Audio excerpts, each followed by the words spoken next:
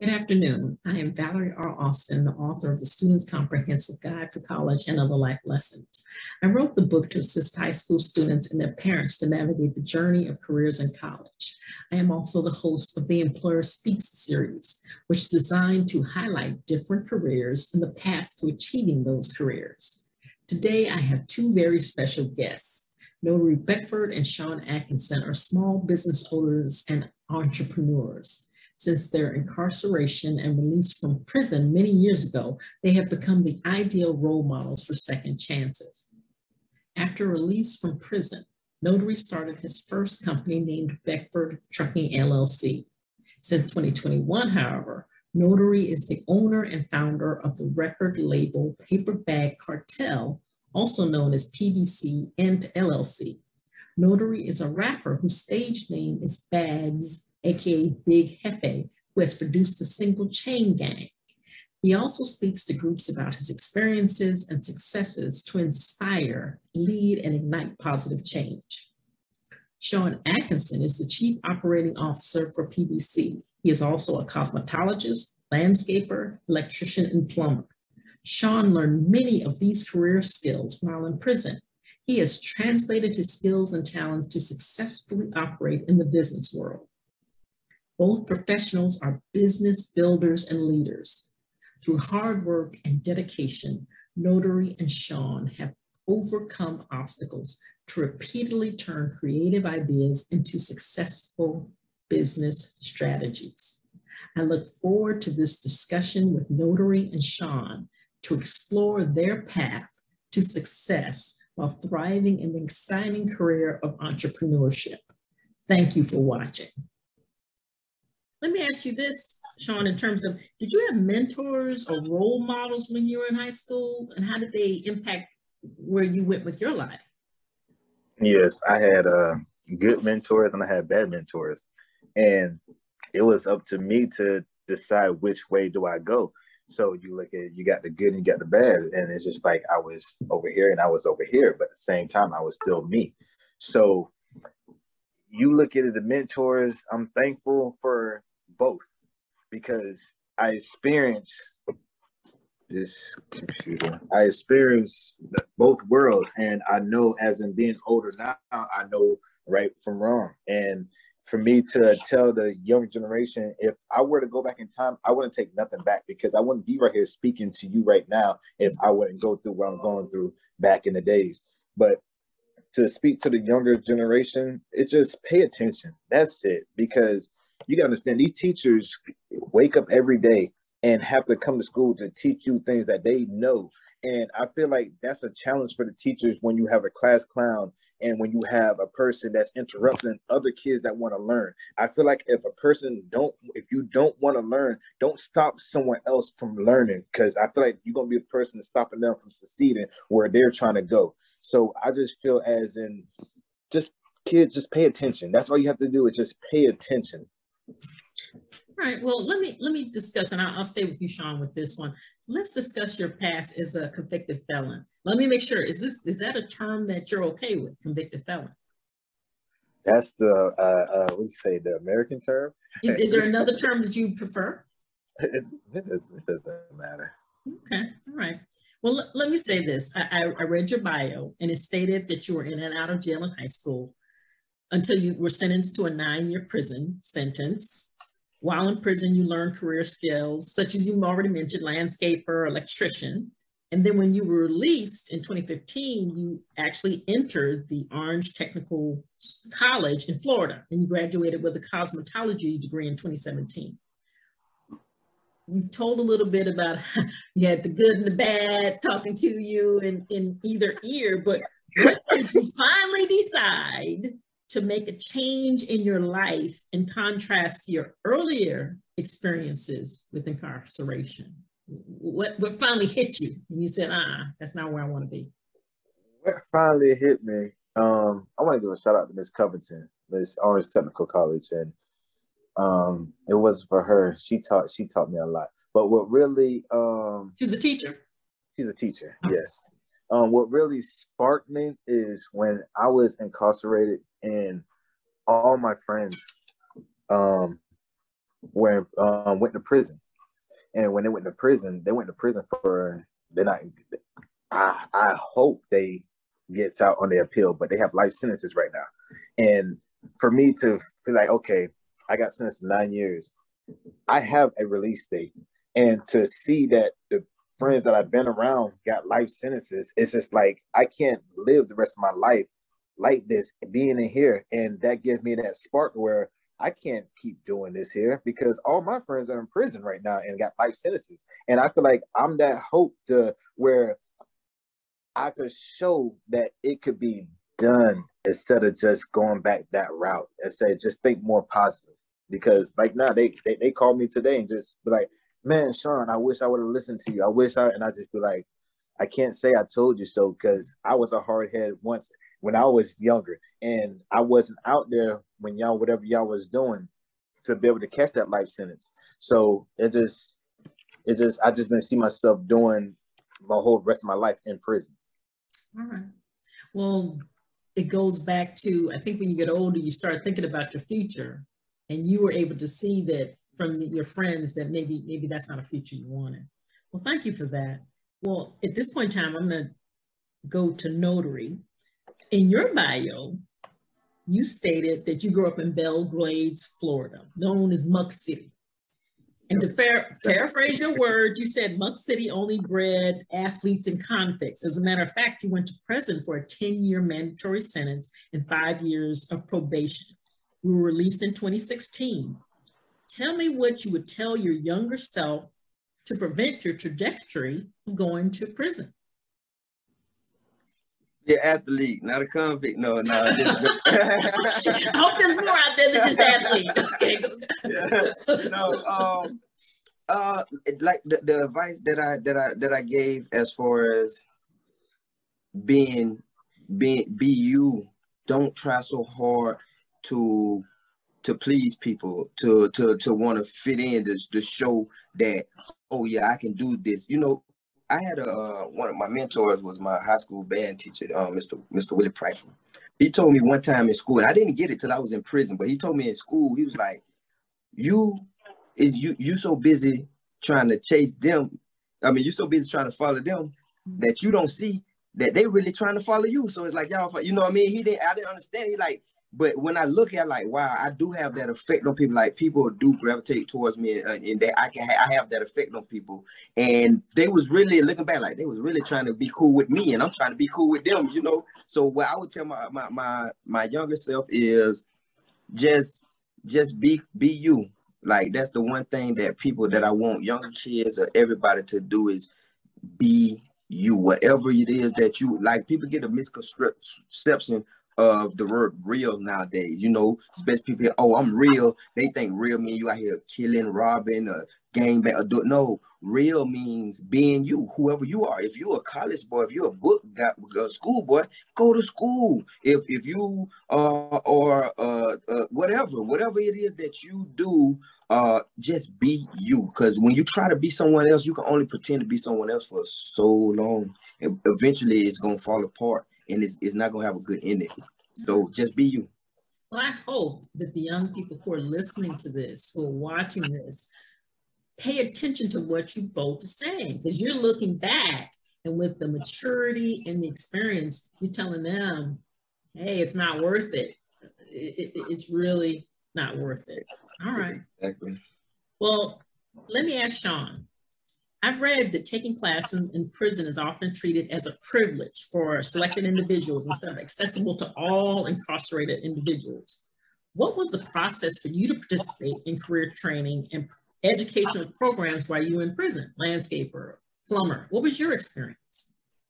Uh, my experience is, um, even though we was working for free, I look at it as um, learning a skill and something that I didn't know so I look at it and said, okay, I'm going to learn this and it's free. I'm already here. So I'm going to take advantage and learn everything I could learn. And so when I get out, I could have something to fall back on to where knowledge is power.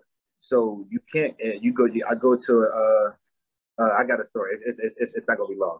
So um, I, I applied for uh, a concrete job and I was in prison. I know how to do concrete this, right? So the guy said, okay, he gave me an interview and um, he was like, okay, I need you to make me a slab. So I said, okay, I'm thinking he's gonna get me all the materials to make it. So I'm just like, okay, I'm waiting. He was like, uh, all the materials over there. So I'm just like, oh man. I said, I know how to do it, but I need like the, I need to see the stuff in front of me to know how to do it. So I went in there, I grabbed this, I grabbed that, I grabbed it, I grabbed this. So I'm making the concrete, because, like I said, I know how to do it. I'm making it and I did it right. And he was like, uh, you got the job. I was like, yes.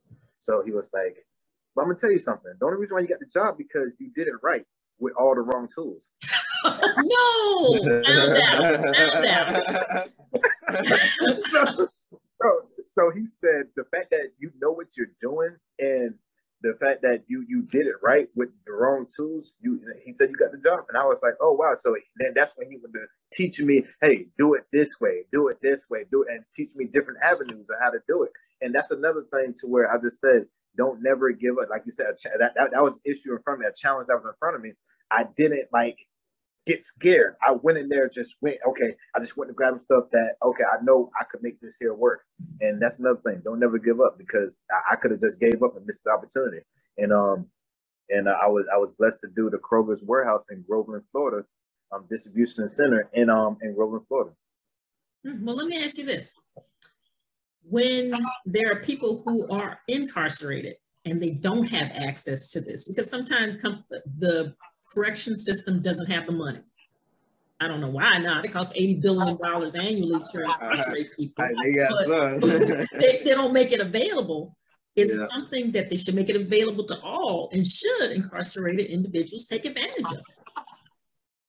Yes, um, they have they have programs there. Um, I just feel as though the knowledge to where um, this is for this and that's for that I think that could be a little more better because, like I said, we, we they just put us there to work, and they just like, okay, all the tools are already provided, and it's just like, okay, go out there and work. That's like if I get a push mower, they'd be like, okay, go out there and cut that grass. They're not telling me the right way to, okay, do it this way or do it this way. All they know, they just want it, they just want it done. So it's just like, okay, being in there, you can learn the basics, but then it's on you to enhance the basics. All right. All right. So they don't give you particular career training. You're just learning how to do it at the basic level, but at least gives you a starting point. Gives you a starting point. All right. Well, let me ask you this, Notory. You stated that growing up, you had many obstacles with nothing to do but get in trouble in Muck City. It, it was just trouble. Now, what, what, what was your mindset before prison, during prison, and currently when you left Muck City? What what was your mindset? Um, first off, yeah, growing up in it, it's a small town. It's so small, and I don't want to make it seem like it's just a what it was, but it really wasn't anything to do but like get in trouble. But um, my mindset back then was it's so small. Like where I'm from, we got one red light. We don't have a Walmart. We don't have no restaurant. We got to go to another city to go to the mall. You know, so my mindset before was get out of here, like get some money to get get my family out of. You know what I mean? Do something better. You know, I'm like I was the first person in my family to actually go to college. I went to Florida A&M. I was in the Marching 100. Yeah, oh my gosh, congratulations. Yeah, I was the first. And um, so my mind frame was do whatever I got to do to get out of here. You know what I mean? So I use my I use my my my my ability with music. I was in the band and I used that to get a scholarship to go to to to FAMU. Um, then, but being brought up a certain way and doing certain things for so long, it's hard to let those bad habits go. You know, like and so I could I didn't stop my Muck City living while I was in Tallahassee, if you understand what I mean. And that caused me to go to the catch time to go to prison. Uh, and my and, mind. And those to clear it up, are you saying criminal activity? Yes, yes. Yeah, with the criminal activity that I did um, while I was in Tallahassee, it led me to prison because I the the way I the way I was brought up, things I was doing, I, I I couldn't get rid of that. Way even when I was in college, so I just doing bad things and it led me to prison. And my mind, when I went to prison, my mind state in there was survival. Like I um I got I done got hit in the head with logs, I done got stabbed, I don't the the police, uh, especially in Florida's prison, they that man, they beat me. I wasn't even in for 30 days and they beat me. They uh, fractured a rib. Uh, I cut my beard down. I had a hole that I could stick my tongue through and my top lip. Like they beat me bad. It was in the beginning survival. Uh, and at first I had to accept the responsibility first because when I first went to prison, I still was on, oh, they gave me 10 years. Oh, oh, these jokers snitched on me. Or this did them, them, them. I didn't accept it like, but once I accept the responsibility, like, oh, yeah, you did it, bro. Like just it's time do time now. You know what I mean? Because when I was still angry and aggressive and fighting and stuff, because I was still pushing off responsibility on other people. Once I accept the fact for my uh accept it, you know what I mean, the mm-hmm. responsibility, I changed. That's when I started learning Spanish. I can speak Spanish fluently. I can speak a little Creole. Like that's when that's when my mind changed. My mind state changed from survival to okay, how when I get out, how am I going to be a, a multimillionaire to to support my family after losing a decade in prison? You know that it, it, it shift. So that and was I, the after. How am I going to support my family versus I have to be the baddest, the baddest one in here in prison? Exactly, exactly. And now. And now my mind state now since being out of prison, my mindset is is continual, is growth, is knowledge, is is understanding. And uh, a book I read called Rich Dad Poor Dad by John Kiyosaki. I, I encourage every every every every high schooler, uh, middle school, anybody that watches this, I encourage you to read that book. That book. Why is that? Why is that? That book changed the way you. It changes the way you you see life you see things you know especially if you are already have that entrepreneurial spirit. Because me i always felt that i was different. I always felt i always had seen things like i seen where i am now in the music. I seen this in 2006 and 2008 while i was in prison you know? I seen i actually like it, it may sound crazy but i seen i know you know? And and I used to always think that I was like other people was like I thought I was different, but when I read that book, it made me realize, dude, you really had a mind frame of millionaire of wealthy, real people that can think. You know what I mean? Because the way that they think in that book, the things that they tell you about in the in the in the oh man, it's just a beautiful read. I promise. I I I anybody. Yes, so it opens your mind, open your mind to the possibilities. Yes, it, it does. I 100%. It teaches you about being stuck in a rat race of how society is. It's, it's, it's beautiful. Okay, well, thank you for that. I'm sure there'll be people looking looking that up to, to check and take and read that. Well, yeah. let me turn to Shawn here, and thank you for that. Shawn, um, you quoted in your bio that the key to success is to focus on goals, not obstacles. What does that mean when it applies to your life? Um, what it means is the same thing, like I said, with the concrete situation. My goal was to get that slab. I just finish that slab, get this job. I did I did I didn't focus on the obstacle to where it's just like okay get this tool get that tool. I focus on the goal. So I feel like that um you're gonna have um a bumpy road going to where you want to go but at the same time go over the bump and don't stop at the bump and be stuck at that bump. Hmm. okay. Now let me ask you this and I'll say this to, to Notory According to one statistic, less than 4% of formerly incarcerated people have a college degree and 25% do not have a GED. We already, you already stated you had gone off to college. Why mm-hmm. is education such an such as a GED, high school diploma, a college degree, a career training important to all young adults in order for employment, in order for starting a business, to be, be able to financially take care of the family? Why is this so important? It, it, it is it is so important to have uh, education for one like i said earlier so you can know so nobody can take advantage of of you for not knowing certain things it's, it's important for you to have a uh because now you can't get a job doing anything without a, a, GED or high school diploma or some type form of training. So you take advantage of it while you're in school, and also um, this is my thing. I, I I encourage like my my younger people that I that I mentor to I'd rather you get a trade, go to trade school than college. Because when the trade school, it teaches you when you leave a trade school, you automatically go and start a business because you're learning technical hands-on now. When you go to college, you just learning the books and the, you learning how to what to do. When you in the trade school, it better prepares you to go immediately into starting your own business because you're learning as you go. When you go to school and go to college, not talking bad about higher education, go to college if that is if you want to be doctor, you know what I mean? Go to college. I, I implore you to. But if if you have an entrepreneurial spirit and you really already know, but uh, I would encourage you to to go to a, te- a, a, vocational technical school to, to enhance your career because college is for people that trying to figure out what it is they really want to do or they want to just get away and hang out. If you oh. already focus, you yeah.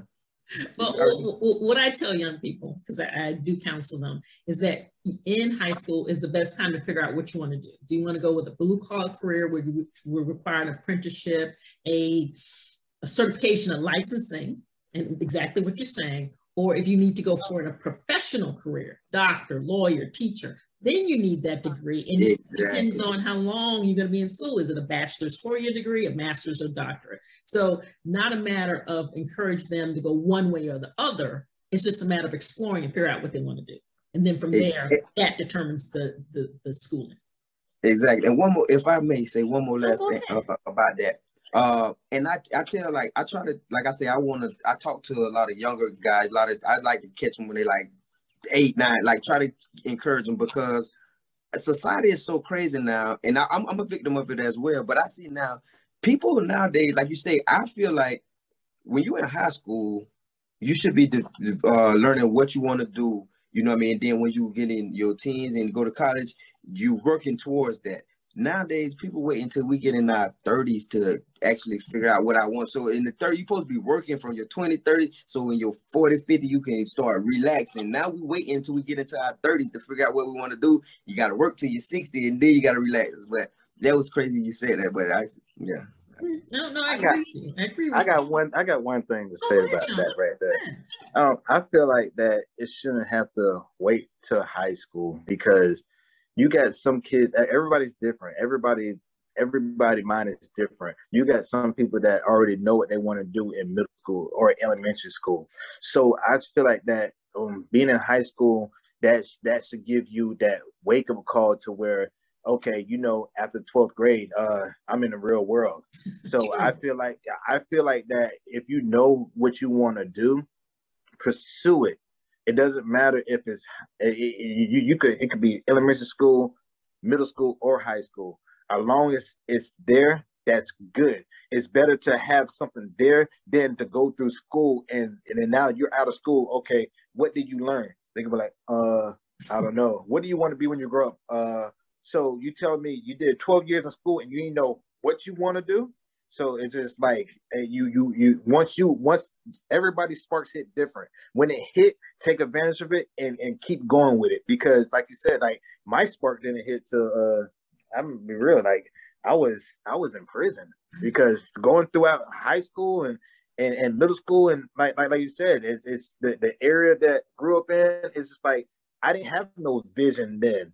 And and and, and I, I had the mind, but I didn't have the vision the vision didn't kick in to where it's just like, okay, now it kicked in. Now I have to be able to, everything just started uh, coming together now.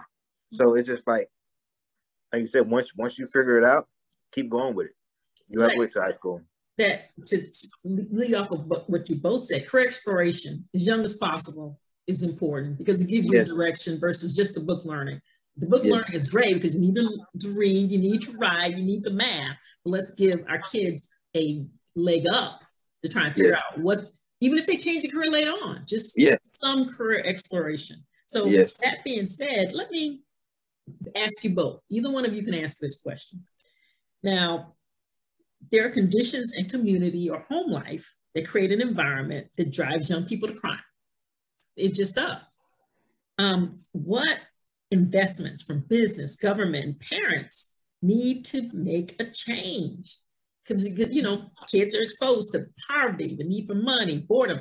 What is it that needs to change? And who are some of the entities or shareholders, stakeholders that need, need to make that change? Um, I really believe that things that need to be changed, I really believe we have so many multi-millionaires and all the people with so much money over here. If a collective, we say, okay, one year, everybody pull the money, get all the multimedia, and we focus on one state. And we get we get right this one state.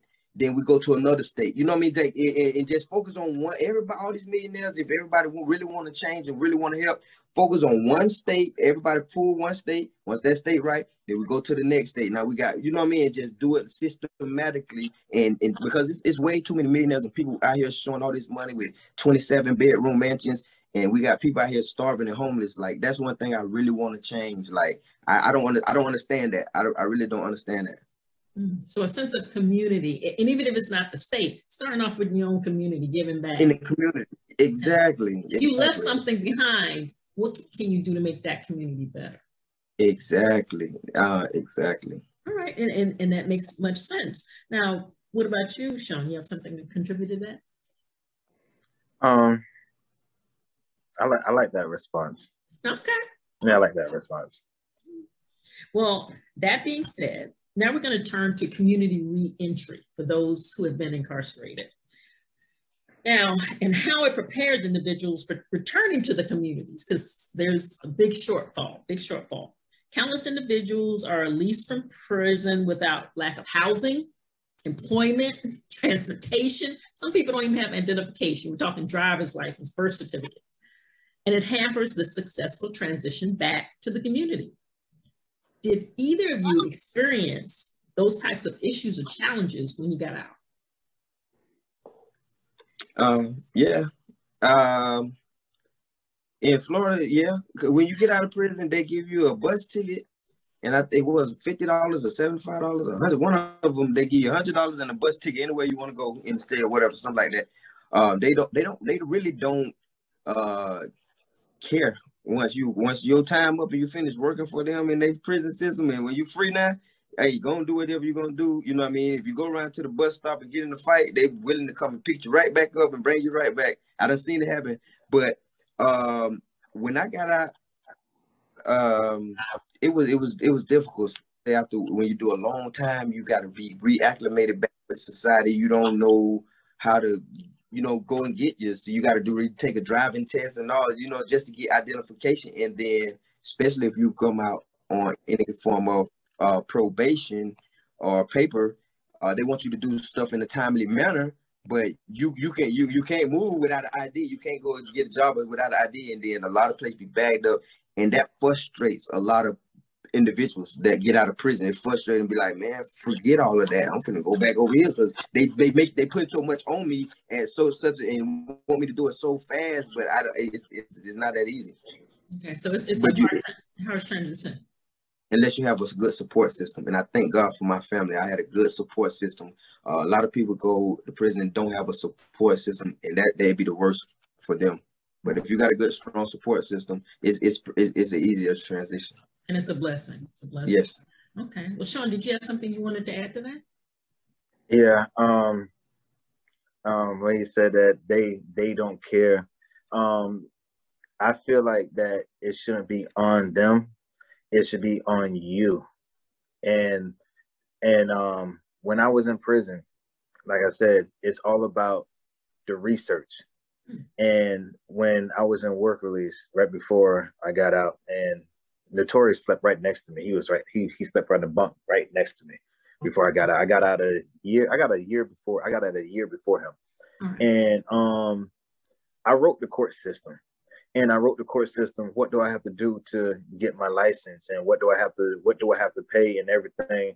And what I found out what they did is they tied my court costs to my license. So if I don't pay the court costs, then my license is suspended.